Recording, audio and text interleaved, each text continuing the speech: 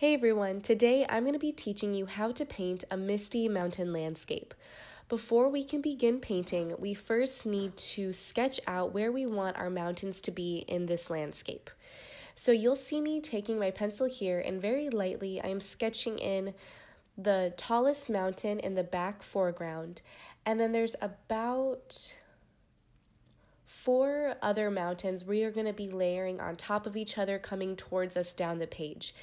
So I am just making some kind of wavy lines. These this is not going to be the exact shape of my mountains, but it's just giving me a guideline of where I want that color to be, and I can really put in the shape of the mountain with my paint later on. So these pencil marks are really just guidelines to help us know where to leave negative space and where we want our mountains to be. Now that we have our basic mountain sketch in place, we can begin painting. I first began this process by filling up my entire sky area with clean water. I just added an even gloss of water. I didn't want my water pooling in the corners. I want a nice even gloss for the watercolor paint to blend smoothly into each other. Then, once I had that water in place, I applied my peach colored paint to the bottom of the sky.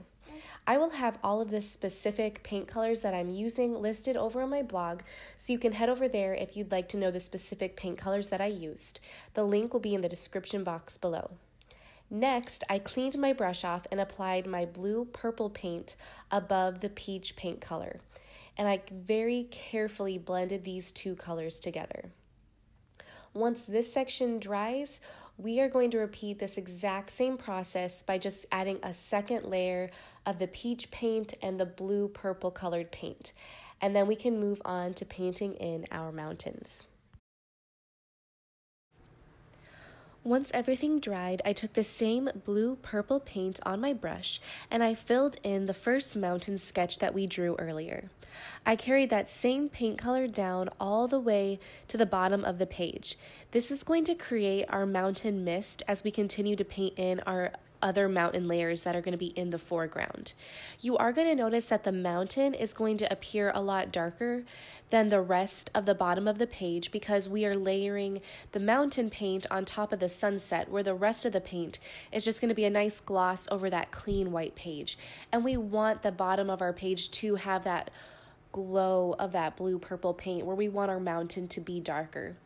Now, once this whole section completely dries, we are going to continue to go back and put a second layer of paint over just our mountain. We can blend that paint color down into our blue purple paint, but we want just that mountain to really have that second layer, um, just to be darker and more prominent in the background. To paint in the Misty Mountains, all we have to do is fill in the shapes that we drew earlier with our blue-purple paint with a lot of Payne's gray added into that paint mixture.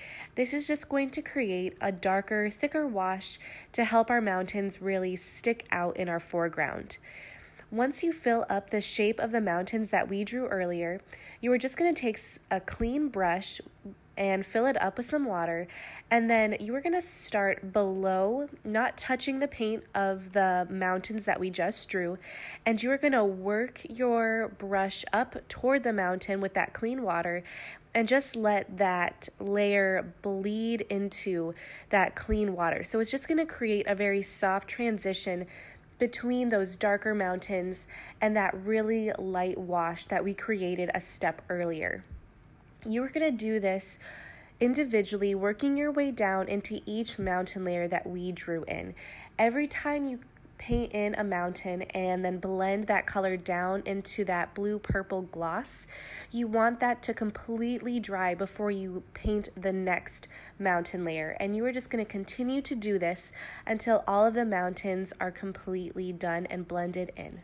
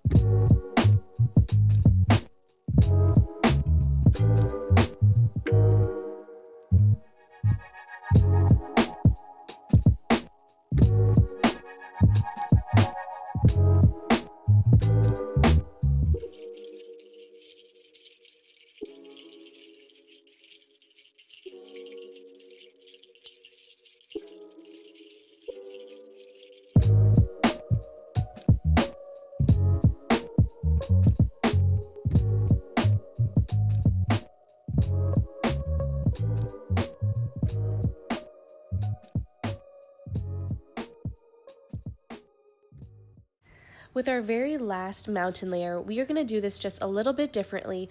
We're going to add a lot more black to our paint mixture, and then we are just going to fill up this entire mountain shape with that paint. Since it's going right down to the bottom of our painting, we don't even need to worry about blending it into the misty area that we created. While that very last mountain layer dries, we're going to go back to our very first mountain that we worked on, and we are just going to add some darker paint and a little bit more detail just to kind of add a little bit more depth and interest to this painting and just kind of finish off the mountain's look. So I just took a nice even wash of that blue purple paint and I just filled in that entire mountain with that color to just kind of reactivate the paint so that I could continue to work with it a little bit more. And then I added a lot of black and a lot of Payne's gray to that mixture and I just started tapping in that darker paint color to the bottom of this mountain.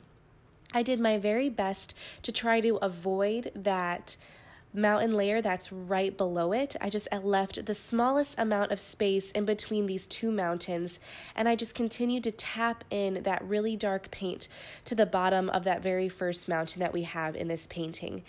And then you're just going to do your best to blend this color up into that lighter top section, but just giving it that rough feel is really going to help this mountain stand out in this painting. And again, just complete the look that we're going for with our mountains. For our last step, we are going to tap in leaves around the top left and right side of the painting, and then we're going to create a slanted row of trees starting at the top bottom left, going down to the bottom right. So to do this, we are just going to fill up our small round brush with some green black paint mixture. I mixed in a little bit of blue just to help it go along with the composition that we've already painted. But for the most part, you want this to be as black as possible but still having those green tint to it. So once you have your paint mixture ready to go, you can just start tapping in those leaves on the top left-hand corner and just have them kind of peeking out along the edges. And then as we wrap around to the right side, they're going to start coming out a little bit more and, and coming down the right side just a little bit and then they're going to stop and we're going to go over to the left side of our painting and we are going to paint in a diagonal line of trees for our very last layer. And adding these leaves and these trees is really going to complete the look of our painting, really soften it, and just bring everything together to create this beautiful misty mountain landscape. If you haven't already subscribed to this channel, please subscribe and give this video a thumbs up. I'd love to have you come back for more painting tutorials. I hope to see you back again soon. Bye.